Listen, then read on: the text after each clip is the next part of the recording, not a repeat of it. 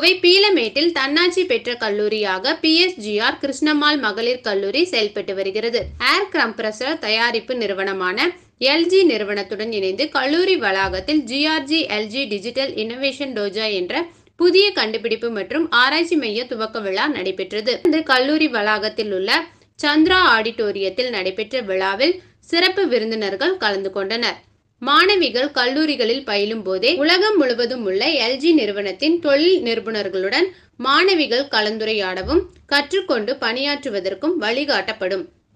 மேலும் மின்னணு தொழில்நுட்பத்தில் உள்ள வேலை வாய்ப்புகளை கண்டறியவும் மாணவிகளுக்கு வாய்ப்புகள் கிடைக்கும் என்பது குறிப்பிடத்தக்கது.